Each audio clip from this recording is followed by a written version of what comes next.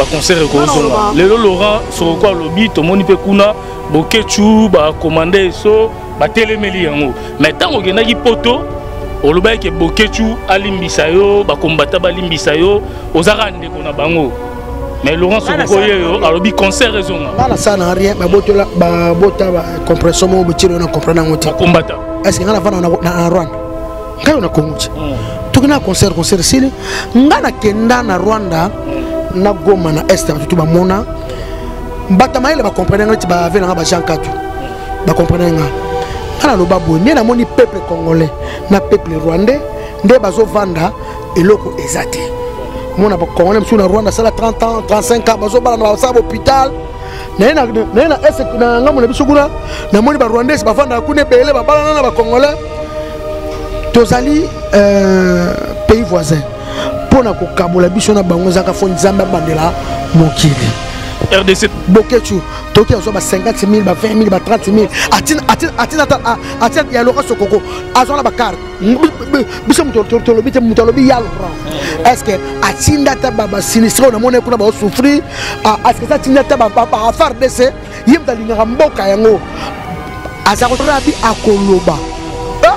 na sona ya laurent omoni boketshu afingaka bato akofinga ya laurent te mafingaka baprésident de la république ayebi le pourquoi azo kofinga ya laurent te afinga baex président joseph afinga bango afinga baprésident sofati afinga bato tout afinga baministre bapamedame mais soki azo kokoloba na ya laurent te mpo makambo eza wana yango yango bakongolo baa na poto fo bacomprendre ke miziki ezonga nango boketso atala interet na ye moko ngai naye kokopana ngai mpaya lora sokoko ngai te bambongo aswaka ako moto ya poto soko otina mbongo akomaka yango soba eh, otina mbongo na bata mbongo soba otina mbongo bapapie nyonso ezali yo moni boketso ya koloba batika miziki batika baartiste ya lora ezalaka nango mpe komba ya baartiste te ezalaka komba ya bapoliticien ezalaka biso te yaya biso te yaya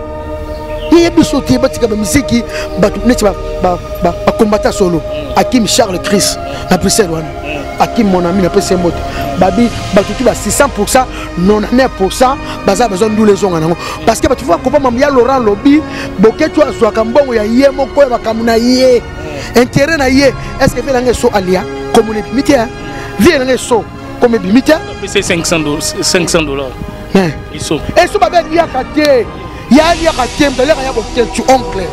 vie so lia te po vie vie Laurent tanga ka vie bokenchu mm, mm. mais ce que bokenchu a tel intérêt na ye azo ka te que principal ba fa beta zenith pour la musique ya lobby mm, ako pate bango ba yako ba ba ba babuta bawata fo babeta babimisa bamusicien mosusu ye akuta interene moko te alanda bapoliticien bana bango bazalaka na poto bamama na bango bazalaka na poto bana ezalaka koma ya so bamusicien te ya laurent alobi akolo makambo eza alo ya laurent njora non alobi te abi so alobi eza ya bombe alobi oyo akoloba esu nkombo na ye eh. etali eloko ekoyela ye alobi yango ayebisi nga motba oloba te wana oloba te wana oloba te baloba te tokotumba te yango naza baloba te omosi biso tobundaka culture toza baza bamessi chanteur ateni mpa na zeni de paris azoyema mama pengui akwa basi ya paris donc concert ya liboso nde ezozonga ya laurence koko alobi ezonga bino moto bobanda alobaki kofi mais biso tobanda vi asukisa na ye vi nanga azalaka makila libata concert ya liboso bino bobeta na poto ah, nga nabanda na nga mopai asukisa na ye ayani mokolo mosusu oya okende ba états-unis ya laurent sokoko alobi makambo eza bino mbo obanda concert biso tobanda concert tobeta so miziki baivane baboleka biso te na bakameruna soya bana soya bana bapasi baba bayemba bato bayoka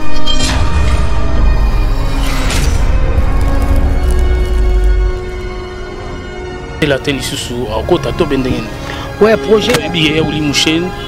alingaki akende kotika na quartier latin prince ye moko balingaki na quartier latin namoni ondire mais mama na ye ma chérie euh, mon amour manike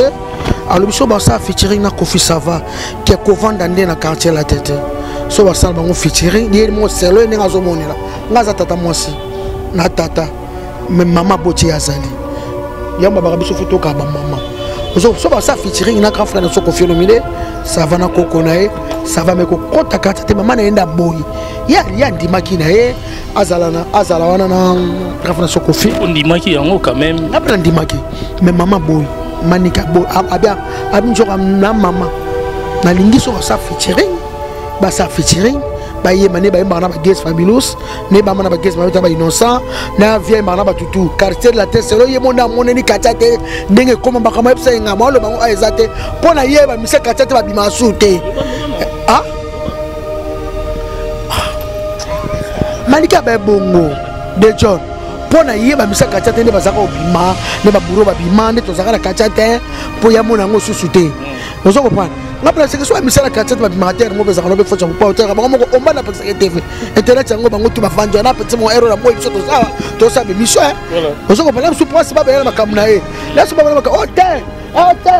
kuna kuta masu te wana selon ye mais ngai nasepelaki nanga azala na kofi olomide engezi ye moko ye liboso ye moko ayebisaka tantine azala na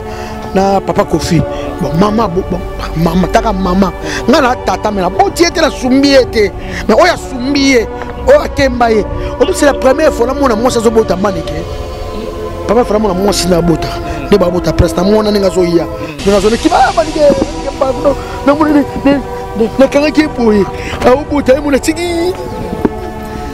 Si bien-être, c'est un complément alimentaire. Les plantes qui sont à l'intérieur nettoient le sang, ça régénère le corps, il stabilise le diabète, ça stabilise la tension, il éradique les hémorroïdes, solution pour les érections, éjaculation précoce et faiblesse sexuelle. Vous avez la prostate Prenez vos médicaments, en même temps prenez Maxi Bien-être. Les femmes également qui souffrent du diabète, Maxi Bien-être soigne et la vie change. Tous ceux qui prennent Maxi Bien-être, regardez leur aspect, ils dégagent la jeunesse. Prenez une dosette, remuez avec un verre d'eau chaude et vous buvez vous serez en bonne santé.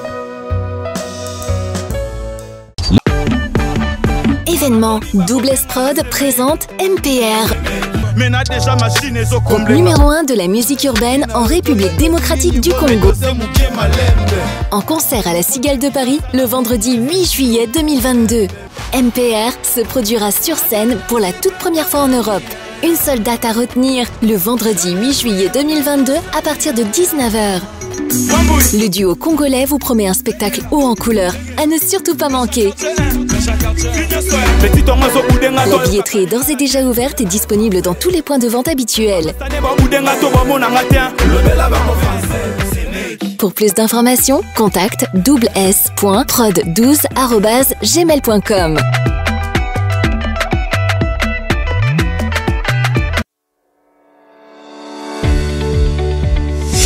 Paris. Belgique, Brazzaville et Kinshasa,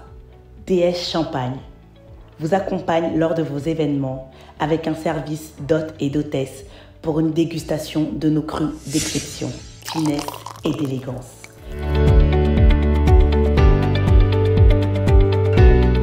DS Champagne vous propose aussi la vente de ses produits en gros ou au détail. DS Champagne luxueux de Paris, DD Samba.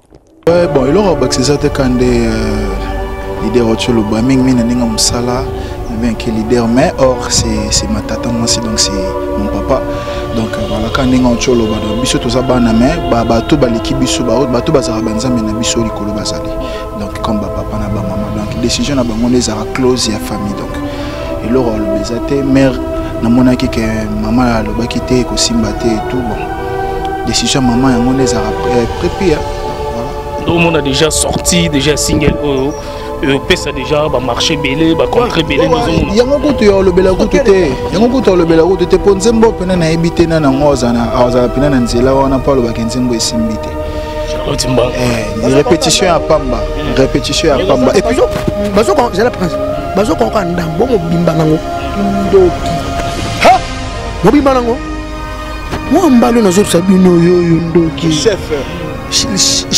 ndoki ndoki sisusu na nzembo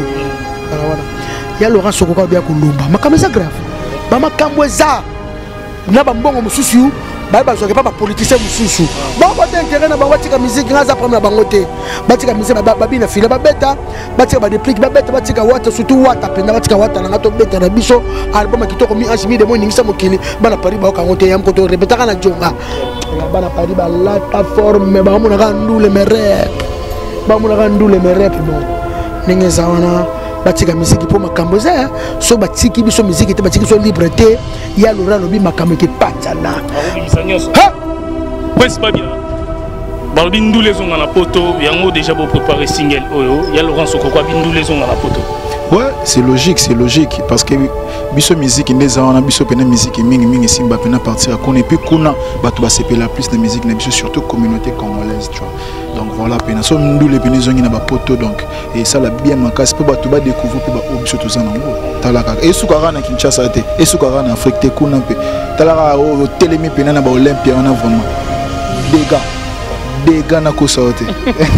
suka suka mpo tosisa na yo shok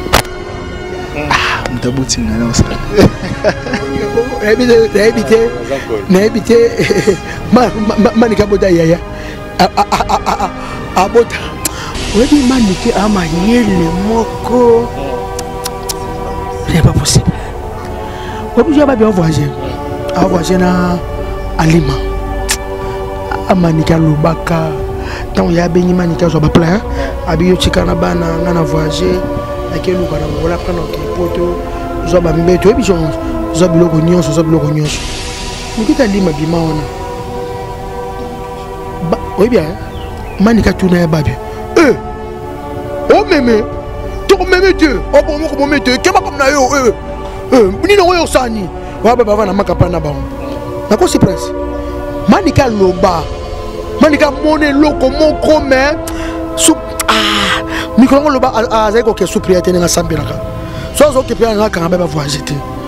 komona mona lima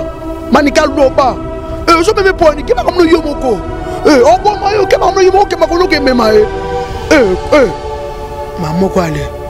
babi akimisi alima na pichu baleki boye bakona aéroport na nde bakenda na ndenge yaya kufa me liwa yaa na nga babia alima yebi yango asamba na prince Prince Eba Osamba. Mais faut toyeba toyebaka te ya kota mobimba na ndako na ye. Eloni eloni eleka. Eloni ne eleka. Ya kota mobimba tutu noti na ngola ti. Bato tu ntsora garçon monde na na satudi lwa na ngola nazwaki tete fene ozwa nimero na ye loyenge ya ya ya nini ya ya kolia na biso ya voyage jour anga nayebi liwa babi anga nazalaka na immeuble nano tosala émission mais ça tout dit liwana mais ah, mais alima asamba na prince lelo te il faut toyeba koma ya akota mobimba ya bima bazomema ye ya bima ebembe alima yebi manike amonaka me mikolo ngondo po manike asambelaka manike niveau asambelaka manike so abandi priere même senga na pale azaka avatolala biso nga kiliba biso ngaka lati nanga kaka non du père du fils nalali manike te nzoka toza bana na mabondo toza ndako na mabondeli bamilimo ekotaka ekotaka awa keba nzora kolalaka lokola taba te etikaka nasambela omona afukami abandi koprie bandi koprie atiki ndako ape tolali mais amonaka payebipres alobaka eza bamama boye neti nga moto oranga sona bino bando raisonne to bando osala bachoc no esila te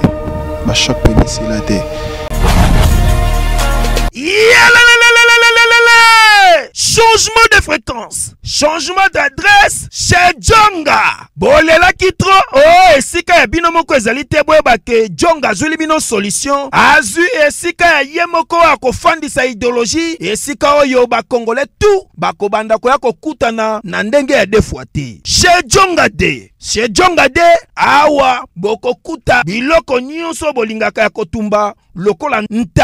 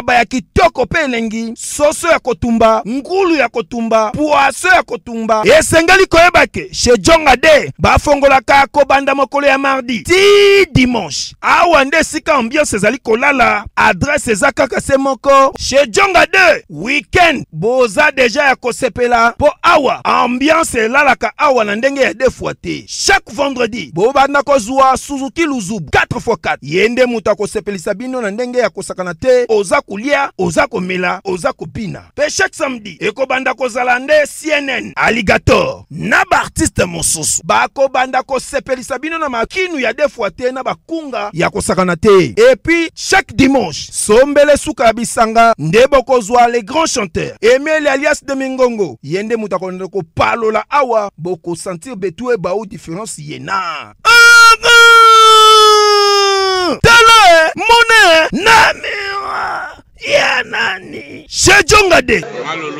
Oui, frère, Babi Tchonga, futur, futur, hein?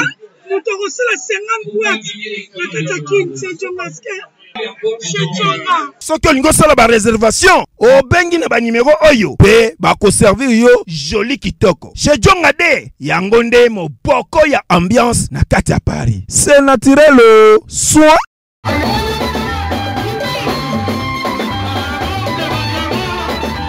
l'Église Source du Salut et JC Ministries organise un grand séminaire samedi 12 juillet au dimanche 3 juillet. Cet événement se tiendra dans la salle Birmingham Event de 14h30 à 20h. Comme thème, Accélération divine, ma nouvelle saison. Cet événement sera conduit par l'éminent serviteur de Dieu, le pasteur Jean Bosco, le jumeau de Bruxelles, l'apôtre Jean-Clément Diambilay de la RDC,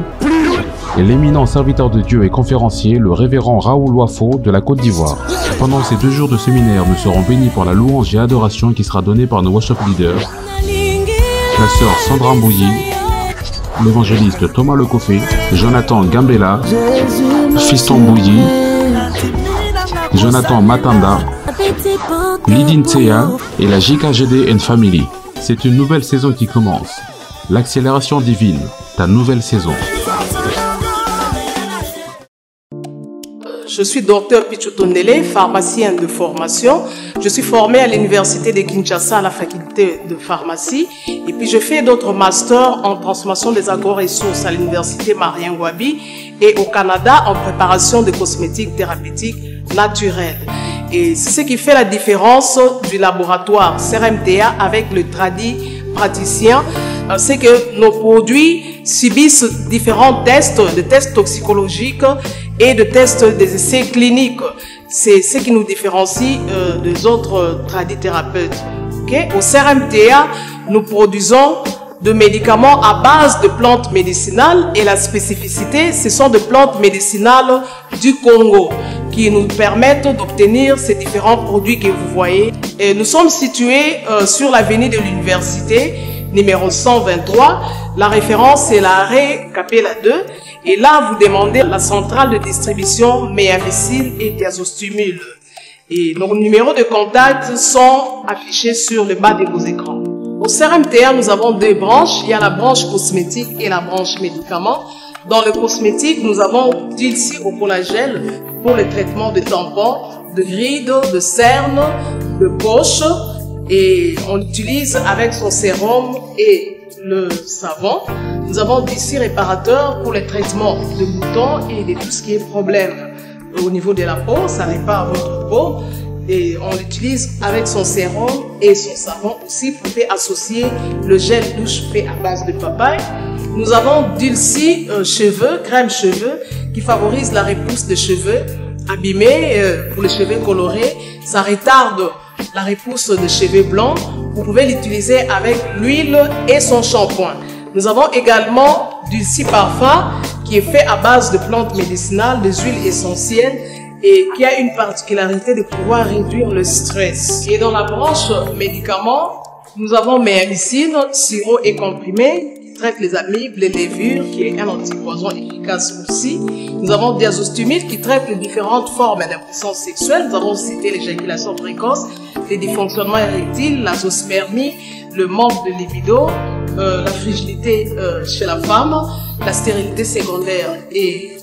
chez l'homme et chez la femme. Nous avons Zinginalis comprimé et Zinginalis suppo qui traitent les différentes formes d'hémorroïdes internes et externes. Nous avons Sensiforce qui traite la malaria.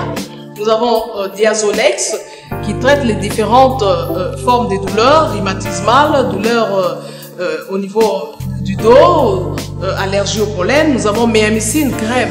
qui traite les différents problèmes de la peau, entre autres les eczémas qu'on appelle communément en la maladie MPC, le mapalata, tout ce qui est problème de la peau, le scoriasis.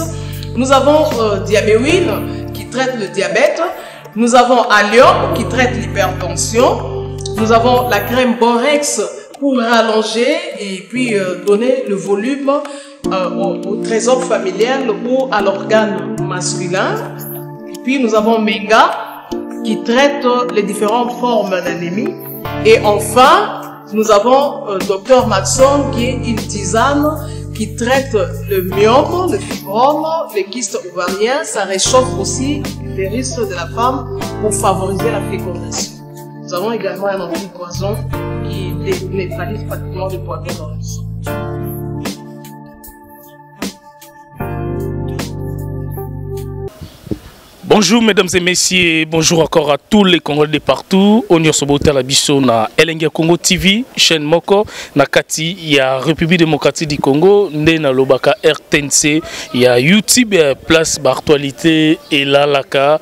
Martin Engi, double vitesse à fusée, na cadre ya actualité pour Esepelisa, la Dimfumu, Mokonza Lost, Azara Moko, Motema, ya Mama Arlette Fumu, na Katia Belgique, merci P, na Jimmy Chimanga, Porte de la Chapelle, Paris-Bruxelles, Solution chez Jimmy Chimanga, merci P, na Karisha Sadik, la Finlandaise, Mama Sociale, alors Toza na Kisindora, Toza na Prince Babia, Toza na Messi, na cadre ka ya visite eh, pona nde bazo préparer studio na bango pona obimisa chanson oyo bozomona ezo cartonner partout na ba TikTok na ba page nyonso balobi soki ebimi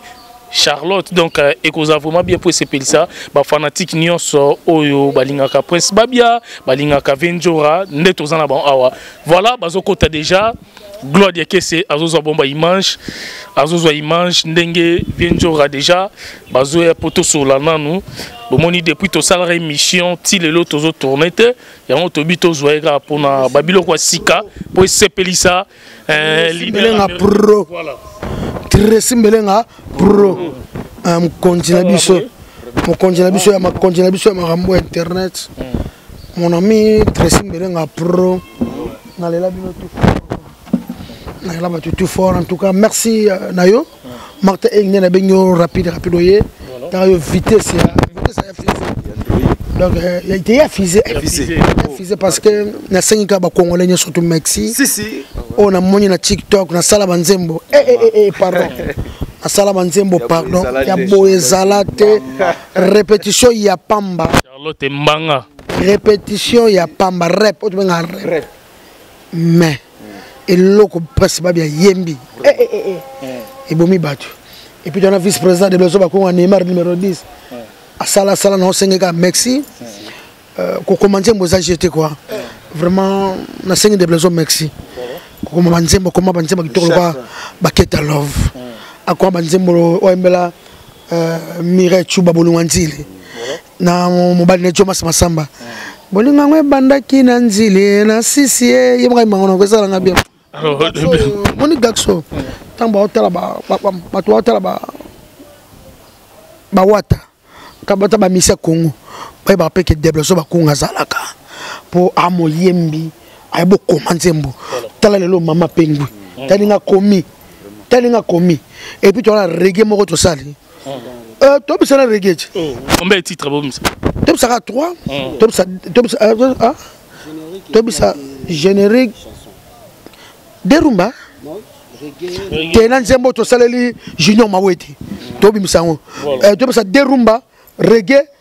na générique wana 4 donc eh, ngumbo tosaleli le millionnaire junior mawete mm. eh, wana suka na nzembo nayebi te tobisa 4 chanson tobisa mama pengui tobisa nzembo tosaleli patron le millionnaire congolais mpo na otya ngola namonika millionnaire moko junior mawete junior mawete Euh, puis te bosala nzema reggae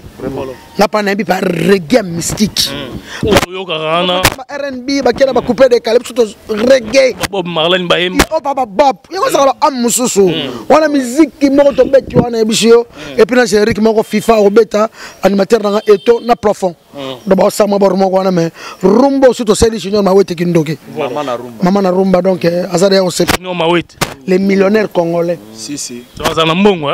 aza millionnaire obi bien millionnaire mm. aza millionnaire mm. aza mystique mm. junior mawete mwana mwana papa mwana pa mawete aza mystique na pesa ye mbote place azali merci simba merci et puis nazoyebisa bino mingi mingi ntango botanga bamisi ya congo botanga bango tout bouti na bagrand prêtre kofi olomide bouti na bagrand prêtre bozi boziana bouti na bagrand prêtre redia mis bouti na bagrand prêtre bafélix wazekwa bouti na bagrand prêtre bakarmapa boye bake tozalaka mpe na misie moko na congo debleso bakunga neymar numéro 10 moyembi mpe mokomi monene yango toyeba concert ebandi chaque chose à son temps bato baseki biso na bangai trop ovie nzora na mouvement na pa bosalaka nini mm. bakomela biso bamessage ebele totala bango biso totravayaka kaka mm. biso totravayaka kaka ah tala lelo oyo nayebisi yo mama pengui mm. na biso me te bango ntango balobaka na biso wana mouvement moke moma wa papa male magere vie nzoka asaka baventure balobaka yango mpe nde balobaka nayoka keni piala kutu aselanga bemission loba ba ba critika mm. donc batonganga ntina ba istanbul mouvement wana mm. nzoro asana eloko te mais tala lelo mama pengwe kaka bino bato boboyaka mm. lelo bokomi kaka mama pengwe mama pengwe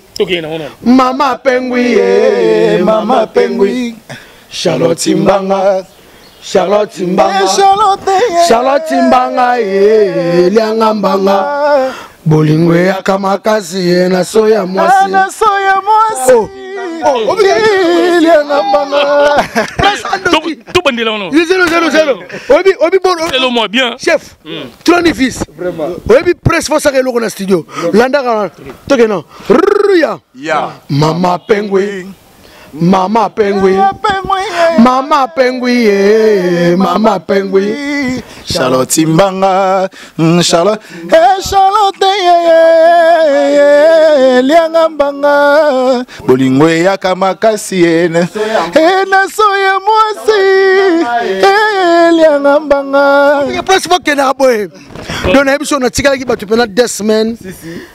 namoni mpena ke bacongolais balingaka miziki bacongolais bacomprenaka mbalo ezalaka su te ke kombo ezaka sala eloko ezala bien ya bina fila babeta miziki toko ka bango nto basaka bakombo te ekoma eloko no ezala no kaka bien tala lelo mama pengwe na biso titala yango lianga mbanga tozobanga lianga mbanga wana ese bakokanga yango te boye mpo ah. tozobanga lianga mbanga wana baotulu mbanga nibalia oyo na oloba eza biso euh, omoni kaka ezalaka mama bakongo kaka biso eza nango bétise te hmm. bétise eza na ah, eza sexe bétise nde yango wapa bétise omoni te nalati elamba likolo nazipiki nazwi lisusu kaleson natie na se nabombi do nabombi mpena sexe oyo oh, nde mpa bétise monango bakanga yango te apart nde kasi ne ya me wana mpo na maladi eh, eh, toso olongo na biso yango nyonso omona bizu meme na bapoto nauti ke poto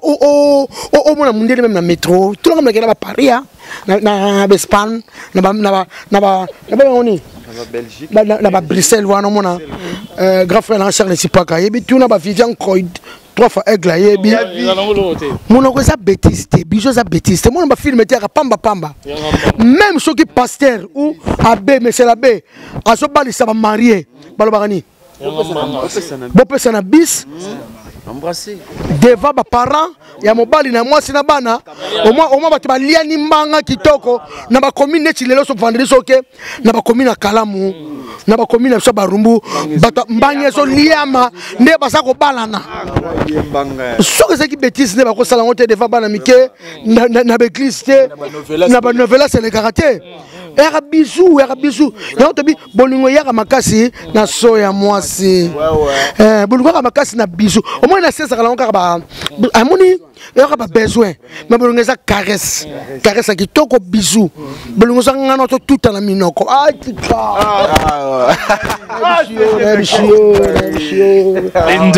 eza bétise ata moke te bizu mbanga ya bétise te omonaka bana meme beckham meme cristiano ronaldo azwi mwana mwasi bizu na monoko tala kende mpo tomona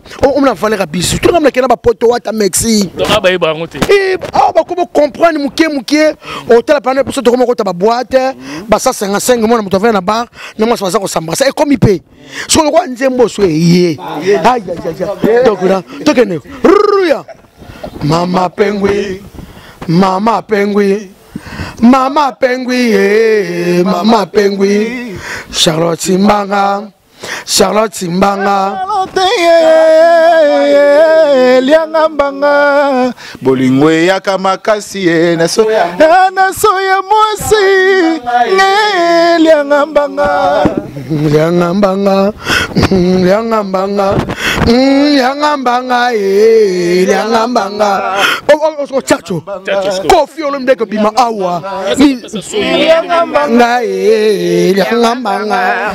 liangambanga liangambanga liangambanga liangambanga to na biso tala mbangi alaka gu e soso bolingani sika makasi na so ya mwasi eza bongo yeya tovandi toyebi bolingo na bia nayebisaka mwa mbalo wana okoka na yo te wata telema azolia yo nga sikoyo nakanyoka likolo wana oleka te papa ata obimisi oleka te oleka te ambange ye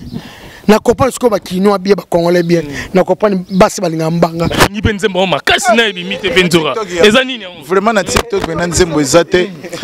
esi okoti mpena na mintu na tiktok mpena nzembo eza te wana mpena sope no utiliza tiktok mm. nzembo eza te mpo mm. mama pengui bobi rep ya pamba voilà. répétition ya pamba avant mm. kutu tokota nzembo mais faut voir ba revenu que nga kutu nakomi kutu no combo combo eleli leli tro nakoki te mm. nayobi te te te nzembo eza dega alors vienzoka toprofite kaka totuna yo lelo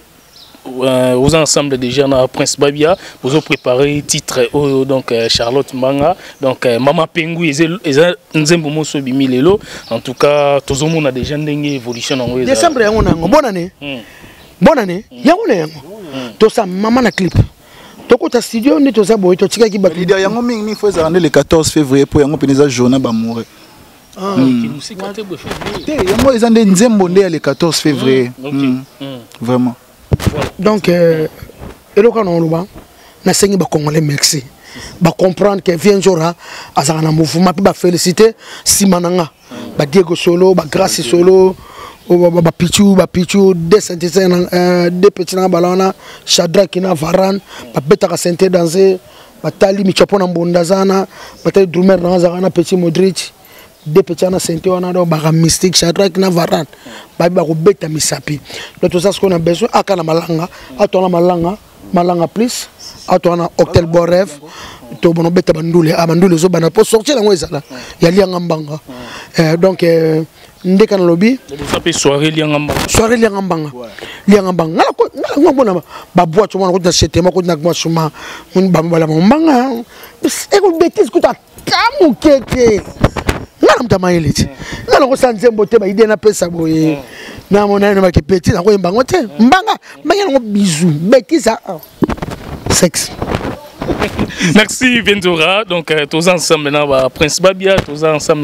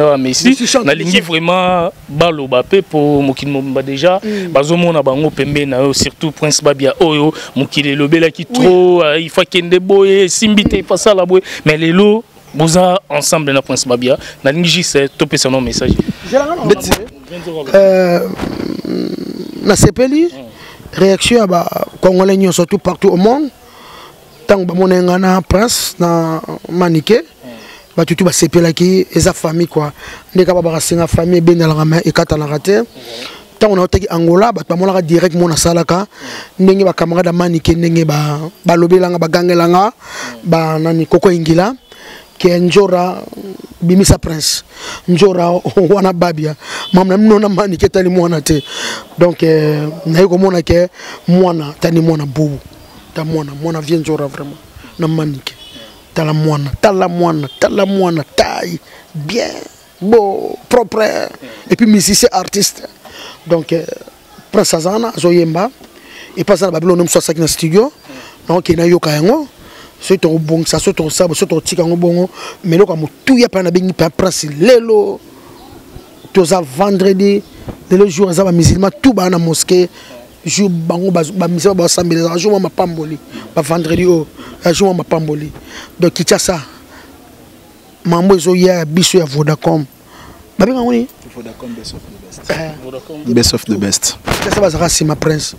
basoutenir mwana mwana na bango leki na bango ndeko na bango koko na bango topese chance babia ndonga ye yo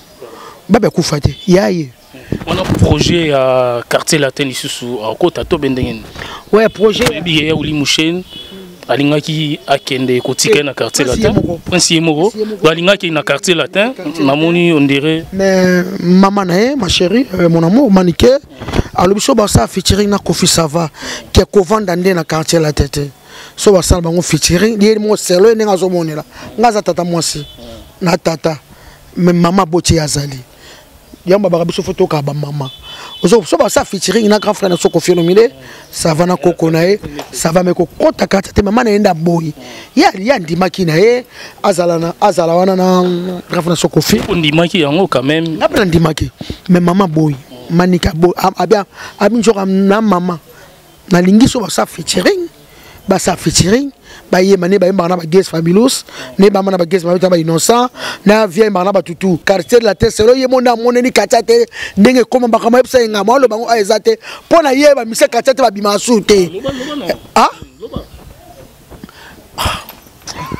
maliki abaye bongo de john mpo na ye bamisa katia te nde bazalaka obima nde baburo babima nde tozalaka na katia te mpo ya mona yango susu te mm. oza kopana nga mpona seke so bamisa na katia te babimaka te yango bezalaka nobe fosa kopa otelaka bango moko omba napekisaka ye tv internet yango bango tu bavandi wana apekisa bango ero na moi biso tosala tosala bemission eh. oza kopana biso mpo basi babela na makambo na ye mm. naso babela makambo o oh, te o oh, te kuna ta masu te wana selon ye mm. mais ngai nasepelaki na ngai azala na kofi olomide mm. engazi ye moko ezalaki na liboso ye moko mm. ayebisaka tanti nazala na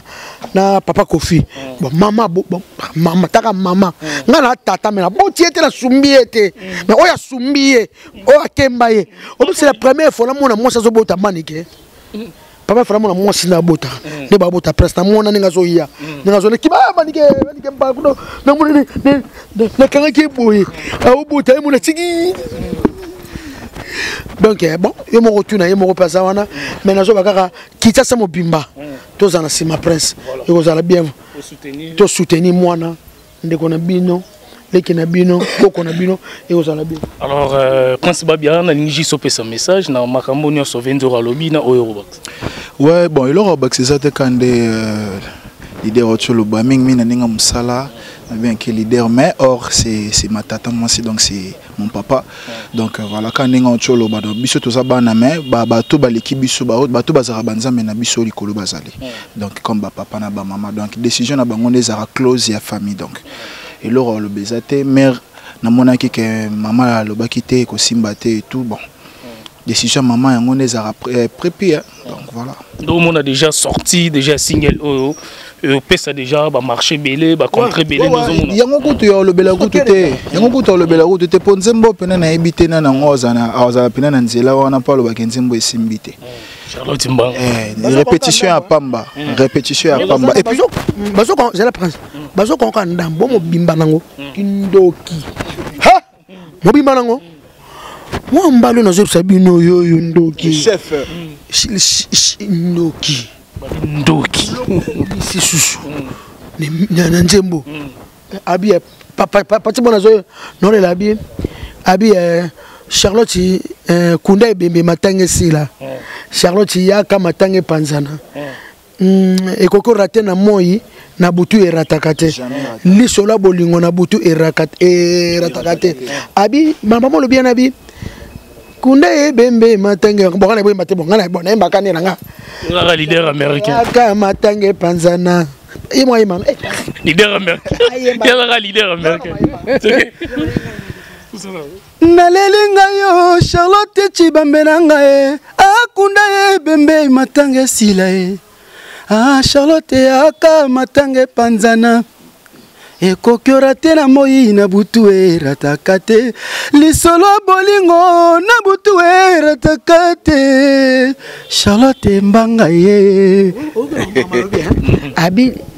ekoko rate na moi eh. na butu erataka te moi towana moi bu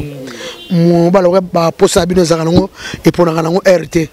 baka mama yano tosemolo atika na olembela bana nanga atika na otika na osolo baba nanga no bon soki abule soki abina butu ekoko rate nango na moi eh. mais na butu Il est 2 3 4 mère azaka wana obouge nete. Donc ya bouche rata te. Donc eh. Donc kula kolamba ezate musala ezate. Moi mbalu nazo sabino aza mystique. Donc dès que Didi Mouenga mon ami. Nzo nzembo okanga ngote. Ça sire. Okanga ngote. Oh maman sansire ezate. Ça ezate. Ezate maman ça oh wakango bêtise. Moi pona ba commune na mariage civil. Ah mariage civil balianaka mbanga na commune bato balianaka baero soke mpa bourgmestre na biso ya kalamu vieux jean eh. claude jise bato baliana mbanga soki na bakatolike leo vendredi samedi bato ya bana bazolia na mbanga omona mpena sango mpena abe mpena bibo ale embrase la marie apesi nzela alema malongola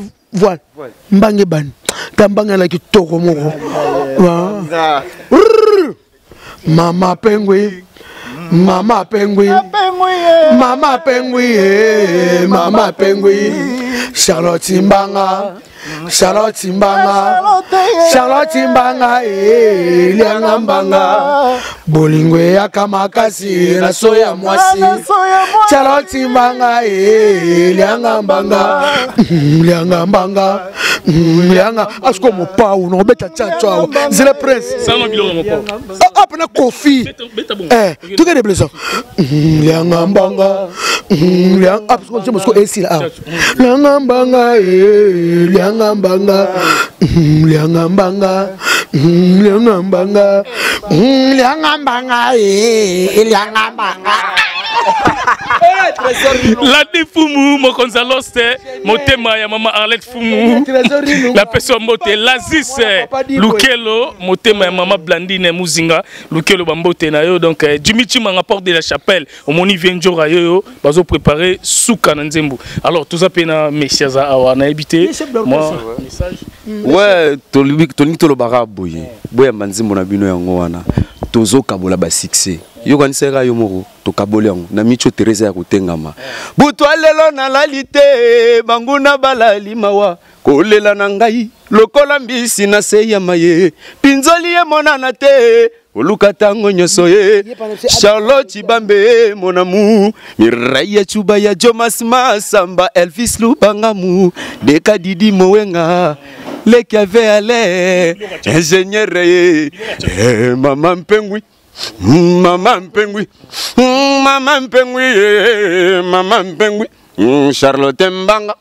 Chacho erataka te. Erataka te. Chacho erataka te miziki ya Koffi Olomide erataka te. Yango nayebisa garçon wana asala na ye rien.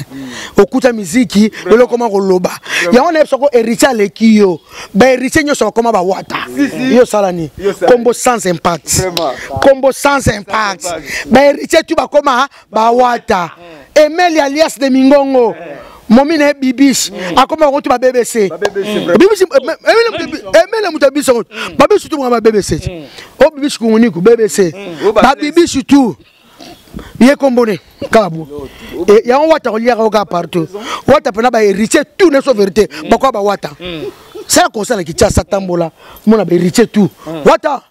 Hmm. wata hmm. héritier babenga bakokoma gogan bango tu babibisi nyonso okoma bbc mutu abenga mwasi te bbc emele osekani osekani na oloba azaka na eloko te azaka na eloko te ozaka eloko te mpo ozaka eloko te ozaka eloko te wata wata yo liaka ye kaka nga noyaka likolo na kangi ye wana obima te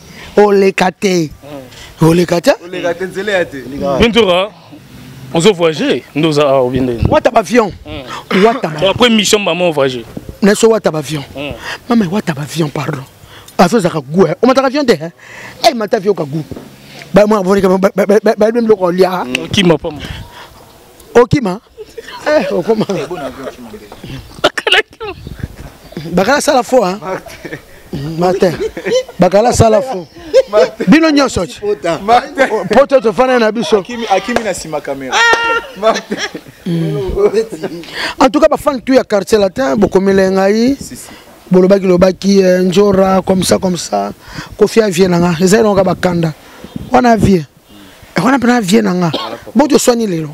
boto obebani lelo eh, kasi na bila longo ekatisa te olongwa te yo olongwa te oza esi babengaka ko na bato babengaka te eh, bavie jean katu mm, mm. bafrançais ya toki asiliki mm. babi yo ozaka wana wana kala vie na yo mais soki ona sani aka vie na nga ah, eh, mouvement na ngai eh, mouvement na ngai nautaka na bandaka na yaya ezalaki kaka bakanda yaya batoloka batoloka bakilere bakozwaka balare wana te na moto fo naloba bakovoyage te me bakali apeti na ngai me mm. avant ya kende faye nonga avance bonga nonga mm. suti na ntango via opesi mbongo alobi eh, oyo napesi yo 1500 euro mpo na nzora e eh, natia na kini na okemba mm. ah misengisi ezokende ba ah bango babunda lokola ngai naza tolo sika bon mais états-unis okenda o états-unis owa mamo pao te nga nani ngai eh, états-unis eza me nga meve rambo alo asaki émission mo o oh, nayo ti nayo te o oh, meve rambo asaki émission mo akabaki yo kutu nde oza na moflere koyaka su te yo yo ntango batonga moflere meve rambo yo ozala yo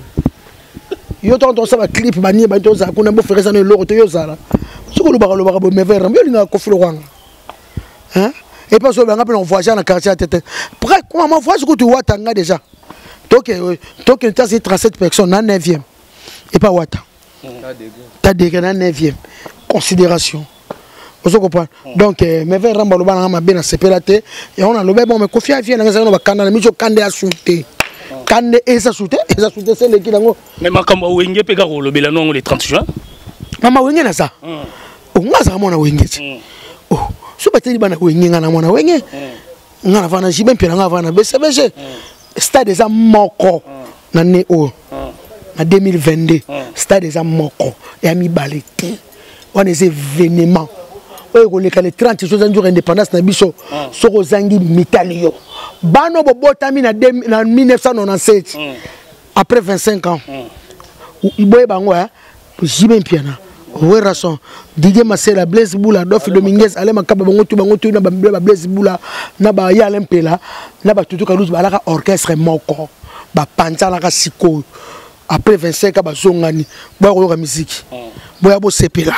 stade ya mibale te na 2022 mm. ya moko pienzora anniversaire ya papa chéri eleka déjà lobi nalingi juste opesa mwa message moko mpo na papa chéri opesa de, de leader weranson na papa chéri tobandi na na papa chéri mpo anniversaire na eleka lobi mpo na rendez-vous asalaki video en tout cas euh, mpo na papa chéri euh, c'est mon grand frère navanda na ye trop epuis tokutaki na guinée aza leader ko bomoni jibe leader apa apamba papa chéri leader apa apamba te wenge bayebi donc eh, ngai nolinga kaka mpo na ngai napesa baboule napesi dans la lobi ayaka na eliko akita na stade na hélicoptère mpo na ngai werason ah. akeka na kinga kati azwa balion ya moto azamba te asimbi ah, asimbi asimbi alikoka de la forêt mm. bakota mm. akota na balion mm. banaka balion ezalaka na kinga kati na botoke na kinga kati te fo tokende eh. babe ezalaka 30 dollars ah, eh, ezalaka eh, bo 30 dollars mwese Hein? 60 000 francs. Werrason asalaki clip kuna protéger base. Eh, protéger base esami kuna. En tout cas bapese banyama ekozala bien. Euh, vraiment ngai nasepeli nde basangani bato bazela yango bato bazela bato bazela bato bazela me yango nde katobaka chaque chose en son temps talonga nakangi mokili mm. okese nanga oyo bafingaka ya mokie oyo mm. oyo ya baprese oyo ya badebleso ya bamessi oyo ya bapici oyo ya badibala mm. lelo ekangi mokili kosangana wana vraiment grand frère nanga werrason ejb mpiana ya ble mpo bango babaya baya blaise baya dolphe baya alain ye ale mpela azoya ye ne modric ye ne kovandisa makambo wana ye ne monisi mais nayoki babi babi fere oza te babi ye mpe fere mpe azalaka te babi azalaka mpela te nde balobi osekana oseka lomora ndeti okobetanga mbata babe azalaka te moto aza ya alain moto aza ya alain ya alain oya ye azoya vraiment tozala na biso tout nayebi ke yo mpena olala ata kuna vitesse amozola bacaméra butubutu baotya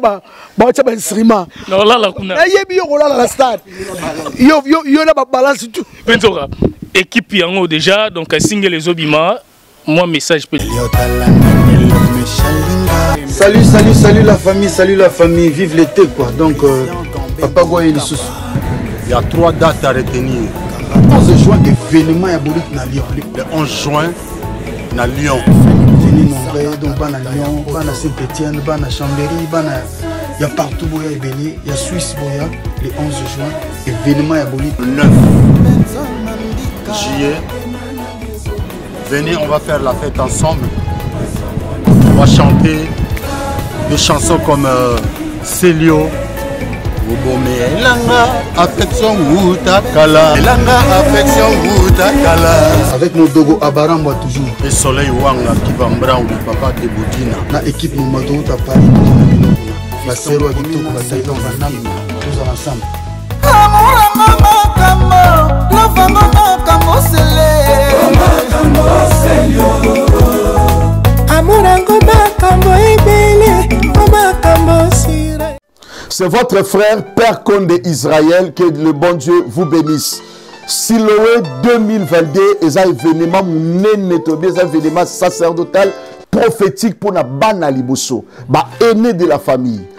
responsable de famille boza bainvite ya evenema oyo eza 23e édition tosalaka evenema oyo mpo na bana liboso mpo na baresponsable ya famille mpo na bato baza na bacas résistant mpo na bato bakondane bango condamnation ekweyaka à chaque événement oyo tosalaka sikoyo événement oyo tour oyo toza na kati ya paris alors évite na nge eza yo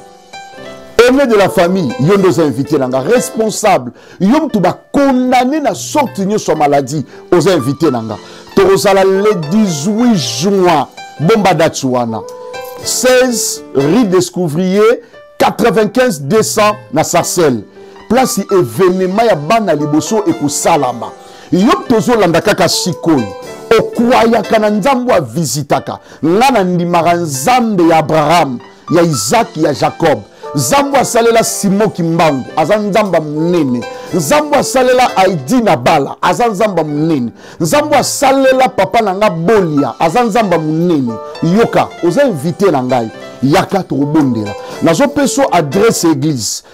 yaka tokoprie 9 rue de la poterie saint denis mercredi 15 heures service prophétique et délivrance dimanche 15 heures eza haute spiritualité kozanga te yo mtoko ozali à partir ya gare ya saint denis ozwi tram emema yo epine sur scène kita na deuxième arrêt delone belleville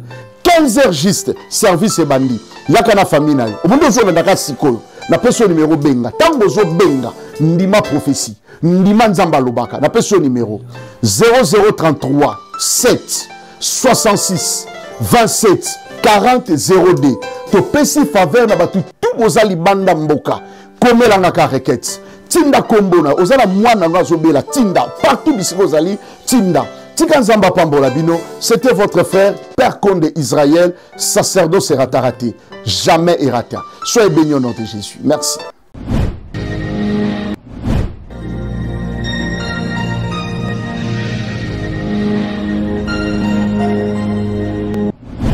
check check c'est dicap la merveille et pibe de oro bana mboka to soutenir fondation ya vie na biso emame ya fondation lisalisi azo assurer ba obsèque azo assurer habitation na europe pas didi la cause kaza banga assurer même l'assurance habitation l'assurance qui assure le diaspora africain mm, emame yo tala yo ye lisusu na lisalisi assurance yo oyo olingi osasure yaka assurance auto ezali assurance rapatriement ezali mutuelle de santé ezali assurance auto ezali na misusu oyo yo koluka nyonso ezali na lisalisi assurance ndeko na yo azwi traitement ndeko na yo bakundi ye na bolamu nyonso to vraiment to soutenir c'est une bonne idée ozomona na kati ya fondation lisalisi epai ya emameya mpo na baverite lokuta eza te banda ebanda fidelité jour na jana na rtr le papa de gims l'assureur qui assure ema meya aye lisusu fondation lisalisi e na bato oyo bazoloba ke kongo fo ezala bien eza na bato oyo bazosala mpe ke kongo ezala bien okoala vie na biso na ema meya l'assureur qui assure la diaspora africaine Dicap la merveille to soutenir fondation lisalisi ya vie na biso ema meya automobile na permis français permis étranger nyonso yanga nango okozwa papier assurance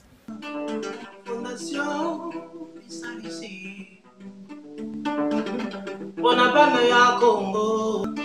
pema meya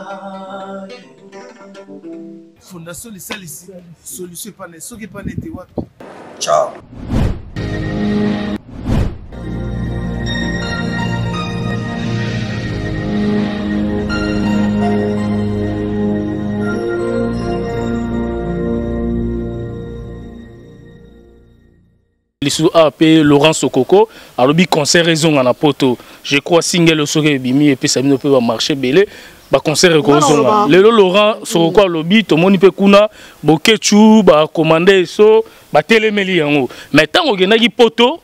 olobaki ke bokechu alimbisa yo bakombata balimbisa yo ozaka ndeko na bango mais laurent sokuko yeyo alobi concert ezonga nga nasala nanga rien babotola babota ba compression moko botyelo na comprendre yango te bakombata est ce que nga navanda na rwanda ngai yo na congo ti hmm. toki na concert concert sili nga nakenda na rwanda hmm. na goma na est bato to bamona mbata mayele bacomprendre nga neti bavela nga bajean katu ba comprendre nga nga naloba boye nde namoni peuple congolais na peuple rwandais nde bazovanda eloko eza te omona bacongolais mosusu na rwanda asala 30 ans 35 ans bazobala na basala bahôpital naye na ngambo na biso kuna namoni barwandais bafandaka kuna ebele babalana na bacongolais tozali euh, pays voisin mpo na kokabola biso na bango ezalaka fo nzambe abandela mokili rdc na rwanda eh, mpo na kokabola biso nzambe abandela mokili eza politiki mais peuple na peuple nde bavandaka mm. eloko eza te eloko bango basilika m23 na barebele wana politiki lelo sikoyo bango bakombata mm. ya solo mpo na makambo ya mboka mm. boketshu toki azwa ba 50 000 ba 20 000 ba 30 000 atina atina atina atina ya Laurent Sokoko azwa na ba car biso moto tolobi te moto alobi ya Laurent est ce que atinda ata ba ba sinistre na mona kuna ba souffrir est ce que ça atinda ata ba ba FARDC ye moto alingaka mboka yango aza ko rabi akoloba mm. na sona ya laurent mm. omoni boketshu afingaka bato eh? akofinga ya laurent te eh? mais afingaka baprésident de la république ayebi le pourquoi azo kofinga ya laurent te afinga ex président joseph afinga bango afinga baprésident so fati afinga bato tout afinga baministre bapremière dame mais sikoyo azo kokoloba na ya laurent te mpo makambo eza wana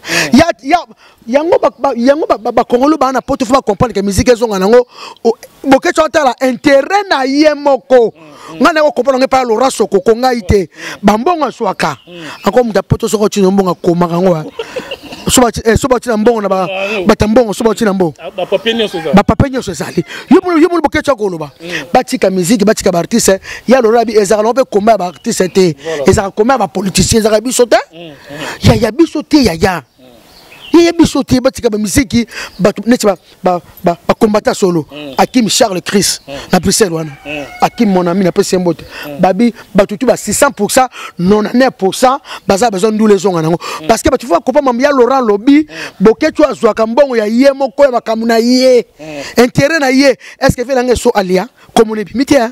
vie na ngai so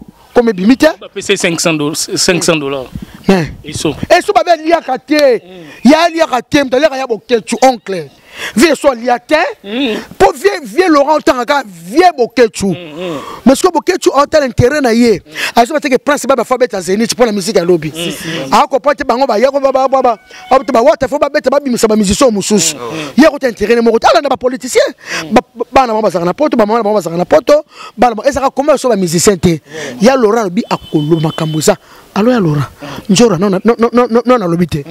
abi soki alobi eza ya bombe alobi oyo akoloba esu nkombo na ye eh. etali eloko ekoyela ye alobi yango ayebisi nga nakoloba te wana nakoloba te baloba te baloba te tokotumba te alongo naza baloba te omosi biso tobundaka culture toza baza bamesi chanteur ateni mpana na zeni de paris azoyema mama pengui akwa basi ya paris donc concert ya liboso nde ezozonga ya laurence okoko alobi ezonga bino motu boobanda ngo alobaki kofi mais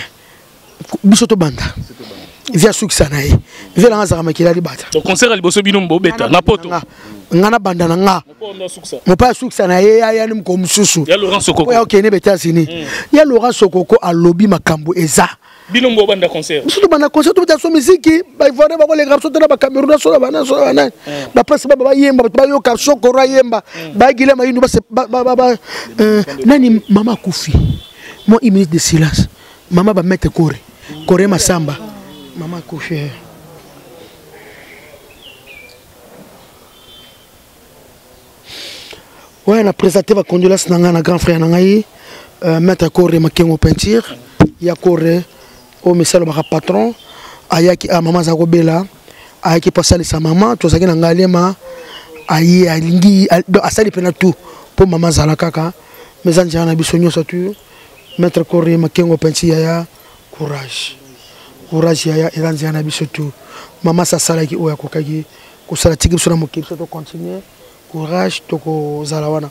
ya Laurent Sokoka alobi ya kolomba makambo eza grave bamakambo eza na bambongo mosusu baye bazwaka epa bapoliticien mosusu bango bata intérêt na bango batika miziki ngai aza problème na bango te batika miziki babina file babeta batika ba déplique ba beta batika wata surtout wata penda batika wata langa to beta na biso album kitoko mi ange mi demo ningisa mokili bana Paris ba kango te yam ko to répéter kana jonga ya bana Paris ba lata forme ba mona ka ndule me rep ba mona ka ndule me rep bon ndenge za wana batika miziki mpo makambo eza ya so batiki biso miziki te batiki biso libre te ya lora alobi makambo eke pajana prince babia balobi ndule ezonga na poto yango déjà bo préparer single oyo ya Laurence Okoko abi ndule ezonga na poto ouais c'est logique c'est logique parce que biso musique nde eza wana biso pena musique mingi mingi simba pena partir à kuna et puis kuna bato basepela plus na musique na biso surtout communauté congolaise tu vois donc voilà pena so ndule pena ezongi na bapoto donc esala bien makasi mpo bato badécouvrir mpe baoyo biso toza nango mm. tala kaka esukaka na kinshasa te esukaka na afrique te kuna mpe tala kaka otelemi oh, pena na baolympia wana vraiment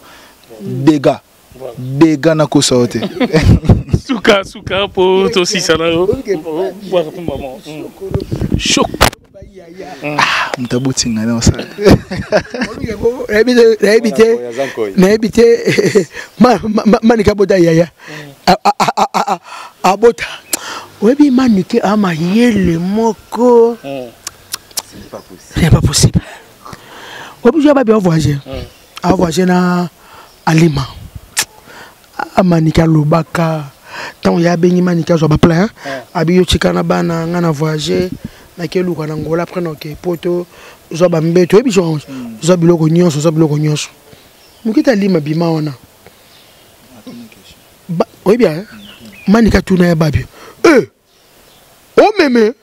to meme te o bo mo ko meme te ke ba kam na yo eh eh ni no yo sani wa ba ba na makapa na ba na ko si prince mani ka loba mani ka mone loko moko mais su ah mikolo ngo loba azali ko ke su prière te na sambelaka so azo ke prière nga kanga ba voyage te komona mona lima manika loba eh, ozomeme pwani kema kamino yo moko eh, oboma yo kema kamino yo moko kema konoka emema ye eh, ma moko ale babi akimisi alima na pichu baleki boye bakoo na aéroport na nde bakenda na ndenge yaya akufa mai liwa yaya na nga babia alima ayebi yango aosamba na prince prince ayebi baosamba mais faut toyeba toyebaka te ye akota mobimba na ndako na ye eloni eleka eloko nini eleka ye akota mobimba tutu noti na ngola ti bato tu ntiora garçon mo nde na satudi lwa na ngola nazwaki tate fana zwa nimero na ye loyenge ya, ya, ya nini ya, ya koya na biso ya voyage ntiora nga nayebi liwa babianga nazaka na immeuble nano tosala émission mais ça tout dit wana mais ah, mais alima asamba na prince lelo te il faut toyeba koma ya akota mobimba ya abima bazomema ye ya abima ebembe alima yebi manike amonaka me mikolo ngo manike asambelaka manike niveau asambelaka manike soba ni prière même senga na pale azaka avant tolala biso nga kini ba biso ngaka lati nanga kaka non du père du fils na lali manike te nzoko tosa bana na mabonde tosa ndako na mabondeli bamilimo ekotaka ekotaka awa keba nzora kolalaka lokola taba te etikaka nasambela omona fuka mabandi kopriere bandi kopriere atiki ndako ape tolali mais amonaka mpo alobaka alobaka alobaka mpena ko mpena alobaka eza bamamo boye neti nga moto oka nga sono bino bando raisonne to bando osala bachoc no esila te bachoc mpena esila te ifale bapapa bazala wana ovi bamoneli bana bakoli ndenge polisi to likosa parceke partout to nakotaka babana papa na ye na mobimba bososo papa ye moko azalaki lolenge te mo bato mibale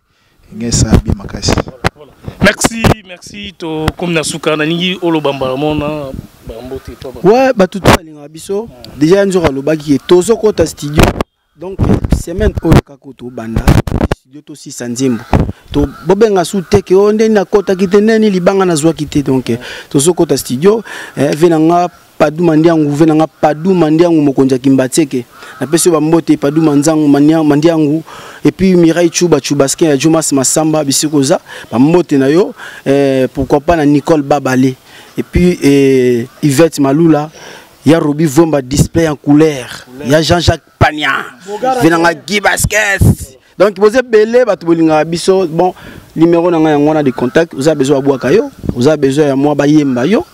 00 243 ya willi musheni code ya mboka 97 190 89 69 whatsapp na ngai yango wana de blezo bakunga donc bobenga rapidement parce que toko koto toko koto bientôt toko silisa eh. merci ya Willy Musheni code ya mboka mpo na developpement bakunga ayebisa nga leader nde tosaka bemission susuti na bachaine na biso oyo ya kitoko oyo ah. il faut yebisaka bato motu somona aa na besoin bembele nzembo anniversaire ah. ayeba yembele na nkombo na ye jour yango jour ya feti na ye ezala moto aosala mariage ye akosele nzembo ya libala asele mpa nzembo ya libala yo na mobali no bobimi na yango ke bobima na nzembo na biso ya matu samuel bobima na nzembo moko boye bobima na nzembo bakarma pa mais obimi na nzembo oyo ya yo yango de besoin motu ezosala baprince baza na basalelo nzembo na yo ya libala voilà alors prince babia mwa bambote na bato Ouais, euh, napesi bambote na nga bato tout balanda euh, bato tout balinga ngai et pour commencer d'abord je salue ma mère Manike de John et puis euh, pourquoi pas Nadar Joker napesi mbote na tonton Jacques Sobanuma hein? tonton Jacques Sobanuka Sobanuka eh, voilà Jacques Sobanuka na États-Unis abenga bi njora bokotya presse esika te mais totano nde toyokende botika mwana boyemba no pardon soki akotaka ata mokolo mosusu mais bafane ebele bokomela ye nga mpona eh, so napesa prince epai ya héritier azonga epai ya héritier bafane ebele nzonga azongisa epai wata mpe ezalaki bien wata na biso la timna le magere okese moko okese moko oswana wata mwana yango yemba na ye problème eza soute nga na manike da makambo c'est bon chaque chose à son temps mwana mpe asakoli ayebi makambo eh, eh, sekola mpe asaki baki bebe eh. alaki alaki minere mais sikoyo ndenge akomi boye kamita okeba 30 ans donc oloba nde so eloko te akoli oyo abala poto aotelemela biso ndenge akomi makambo nde akomi kotelema akomi kotelema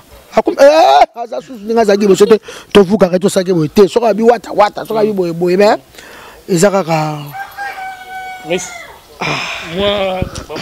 wewe wewe yango ezangaka te eh, bambote ya trop na mystique ya fourmi kaka ndenge ezalaka mireille cuba mwasi ya mpembe akimisaka bangungi na palais ya jomas masamba donc eh, balobi fondation tabita dorcas ezoyede baorphelin eutaki kopesa bamama bakota café ole mm, lisusu talaka wapi bana mm, bana baza wapi eh, tosi wapi bana ko tosi bana wapi ya tosi wapi bana nanga bana baza wapi eh? ah, c'est la première fois nayemba na nga banzembo grand frère na nga na bon rêve awa le grand gérant doris eh. ngindu abileki na nga bwanga na nzemba mama pengwi mm. ya doris ngindu bel homme akokota libanga ya sir epuis moto ya liboso bana kobwaka na pene eza masala nga lambe le grand gérant Lambert Rambi ya kofanda pena wana pena banzembo na bango donc en tout cas merci ouais Brigitte Fatai motema ya Gino Kulula mwana bango paradis et puis ye moko Sandra Chikaya ya Doudou Bereta balobi boutique ezaka moko na Brazzaville soko mona tolata boye tolata na boutique 7 tonnerre 7 tonnerre balobi na Brazzaville wana ekanga et puis ye moko lisusu ya Minos de Paris ya kolobela te ya Robi Vemba wa numéro ya téléphone ezali plus 243 90 61 31 oza na posa libanga ba conseil ba yemba yo ba marie oh hmm, ba anniversaire yaka solola ba osolisa yo ona oh, oh, ah, ko sa 50 ans 45 ans 30 ans 40 ans 25 eh, ans 20 ans to yemba yo en tout cas merci beaucoup na ya bless be quoi na lele fort Mon grand frère propre ya blesse beko 5e del coach olympique mobala mongo elengi merci na yarobi vraiment display en couleur merci na yale moke mokulu to l'homme en cravate ya ya toujours na ila ya na fort et puis merci na boudou samba garçon de chance na Lyon pire petit na ngai guerrier na ngai na kati ya paris wana doko ma guerrier de paris mm, et puis mingi mingi boutique frata mode na Lyon mm. tozakazaka ni frata mode barivage ekoti tozaka kaka na kati kaka na kati ya Lyon wana na na grand frère na ngai Flavien Mongo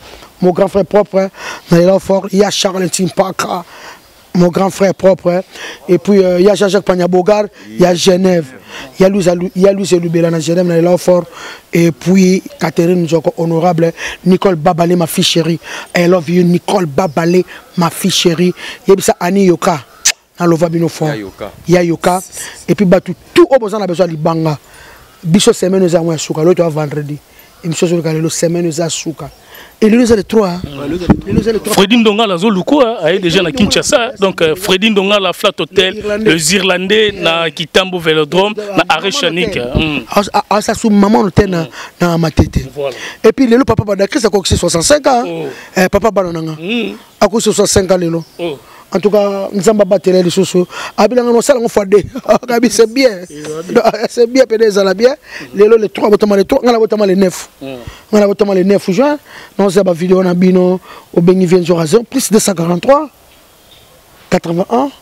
99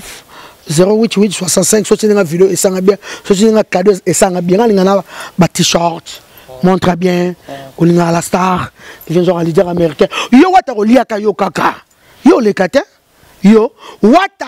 omoni wata akoliaka yo bientôt tokende états-unis wana na héritier watanabe toke elongola salito eza wana bamisiko ya mabe euti kobeta wana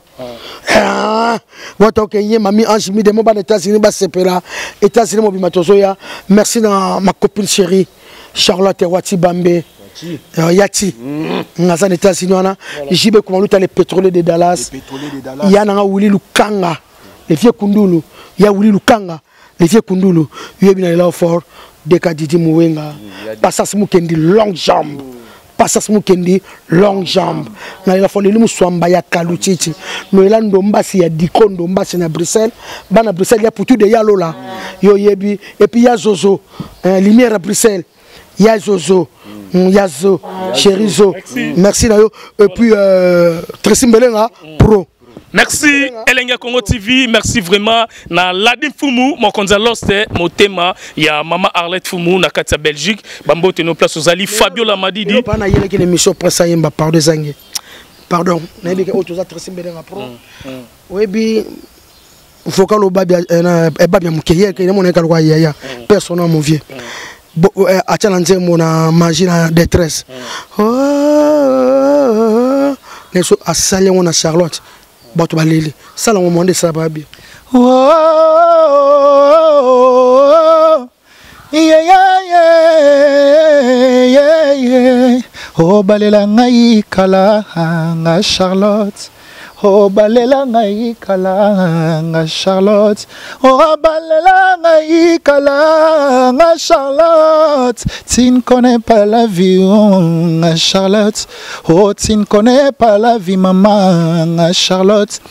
Oh, tu ne connais pas la vie, maman. Oh, maman. Maman Pengui. Mm. Maman Pengui. Maman Pengui. Eh. Maman Pengui. Eh. Yango Kinshasa biso nyoso to lamuka to telema. Vodacom yango wana makisole bandi. Kinshasa biso nyoso Kinshasa mobimba. To soutenir Prince Babia. Kinshasa mobimba to aimer to voter. Biso tout na sima Prince Babia mwana bino. Babia yeyo. To pesa Prince chance. Kinshasa musicien ye wana boko tiana na Kinshasa.